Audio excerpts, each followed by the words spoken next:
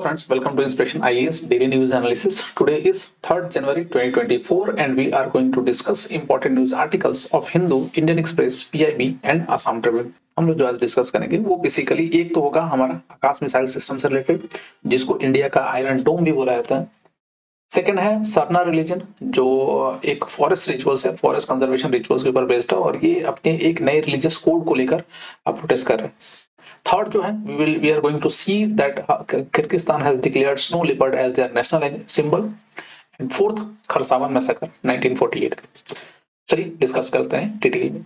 तो सबसे पहला जो न्यूज़ है, वो आकाश मिसाइल से रिलेटेड आई एम श्योर आप सभी को मालूम होगा सैम है ये मतलब surface to air missiles Akash missile system और इसको इंडिया का आयरन डोम भी बोला जाता है as uh, this missile has a unique precision to uh, protect our uh, assets from the any flying object. Either it can be missiles or आपके drones वगैरह।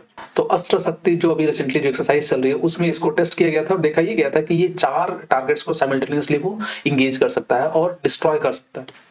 तो ये काफ़ी यूनिक था। और इसीलिए इसको इंडिया का आज आयरन डोम भी बोला जाता है।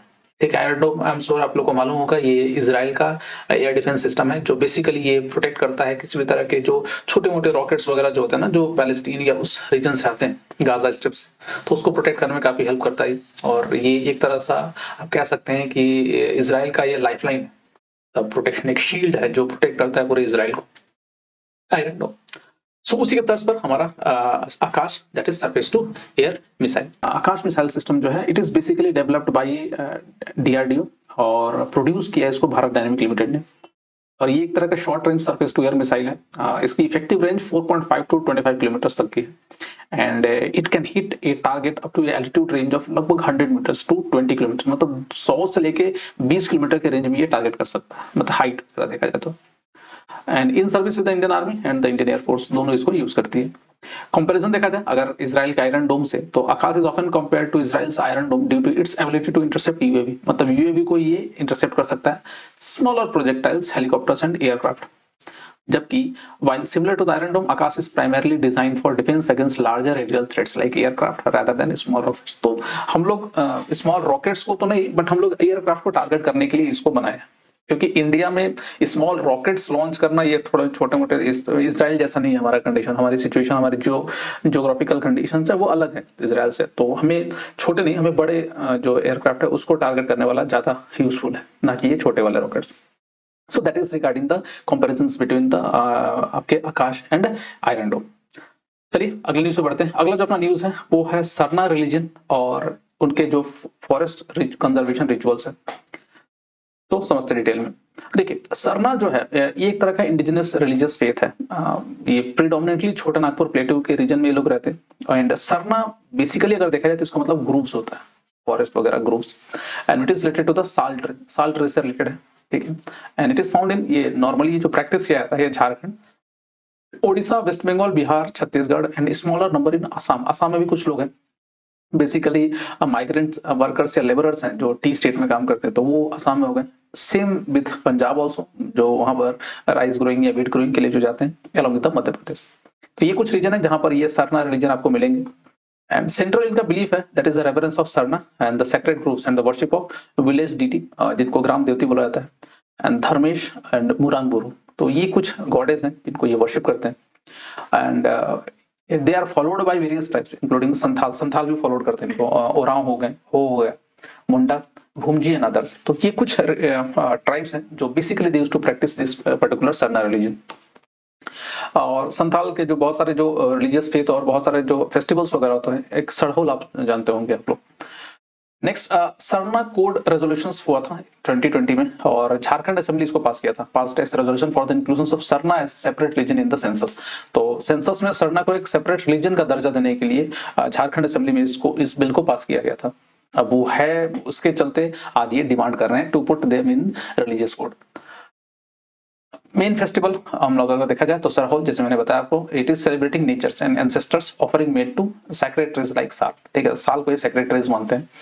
करम है worship of the sacred Karam tree और focusing on the crop enrichment and preservation of biodiversity देखिए, जितने भी ट्राइबल्स जो फेस्टिवल्स है ना, वो basically they are targeted towards the nature मतलब नेचर को वर्शिप करते हैं। नॉर्मली पूरे हिंदू रिलीजन के बारे में अगर देखा जाए तो नेचर नेचर वर्शिप और ये ट्राइब्स जो होते हैं जिनके जो रिलीजन्स है वो आमतौर पे नेचर वर्शिप में ही है आप इधर नॉर्थ ईस्ट में भी चले जाइए तो लगभग वैसा ही है। Along with fagu fagu is gathering of dry wood and leaves from forest reduced fuel load and lowering firewood uh, wildfire risk ठीक है? तो फागु को भी ये uh, मनाते हैं festivals so that is regarding the Sarna religion और basically उनका डिमांड यही है कि Sarna code religious code bill को लागू किया जाए। क्योंकि अभी as it was being passed in the Jharkhand assembly in 2020 so hope आपको समझ में आ होगा ये सारा प्रोविजंस को। नेक्स्ट अपना न्यूज़ है, वो है स्नो लेपर्ड से रिलेटेड एंड रिसेंटली किर्गिस्तान ने उसको अपना नेशनल सिंबल घोषित किया है। आपको ये दिख रहे होंगे प्रेसिडेंट ऑफ़ किर्गिस्तान और दे हैव डिक्लेयर दिस समझते हैं थोड़ा स्नो लेपर्ड के बारे में। तो हैबिटेट इनका जो है माउंटेनियस रीजन में होते हैं। बहुत ही शर्मिले जानवर होते हैं। and they are basically found in central and southern Asia, in India, western and eastern Himalayas. Indian geographical region में अगर देखा जाए तो वेस्टर्न हिमालय और जम्मू कश्मीर लद्दाख हिमाचल प्रदेश उत्तराखंड एंड ईस्टर्न हिमालय जैसे सिक्किम हो गया अरुणाचल प्रदेश हो गया। तो यहाँ पर ये आपको स्नो लेपर्ड दिख जाएँगे। प्रोजेक्ट स्नो लेपर्ड 2009 में लॉन्च किया गया था which aims to stand wild wild life conservation in the Himalayan region high altitude involving local communities तो लोकल कम्युनिटीज को लेकर इनको प्रिजर्वेशन में प्रोग्राम चालू किया गया था। That is a project snow leopard conservation status अगर देखा जाए इसका तो आयुषियन रेड लिस्ट में आते हैं। वलनरेबल और वनरेबल साइट और साइट्स के अकॉर्डिंग दिखाया तो अपेंडिक्स वन और वाइल्ड लाइफ प्रोटेक्शन एक्ट में 1972 ये शेड्यूल वन एनिमल है। नेक्स्ट थोड़ा और समझा जाए तो इंडिया के कंजर्वेशन एफर्ट्स के बारे में तो ये फ्लैगशिप स्पीसीज है और हाई एल्टीट्यूड हिमालयस और कमेंट में आप बताइए कि आखिर फ्लैगशिप स्पीसीज क्या होती है? I am sure you have gone through the ecology तो उसमें फ्लैगशिप स्पीसीज क्या होती है? आप कमेंट में दे सकते हैं। Next part of GSLP programme in 2013 and Himalayan Sanrakshan community programme 2020 इसमें भी इनको इंक्लूड किया गया था। Next national protocol on snow leopard population assessment 2019 के अंदर भी इनको प्रोटेक्शन मिला हुआ सिक्योर हिमालयन प्रोजेक्ट उसके अंदर भी है। And listed in 21 critically endangered species for recovery by Ministry of Environment, Forest and Climate Change. तो उसके अंदर भी इसको डाल के रखा गया। Conservation breedings at Padmaja Naidu Himalayan zoological park तो वहाँ पर इनकी कंजर्वेशन और कंजर्वेशन ब्रीडिंग वगैरह चल रही है।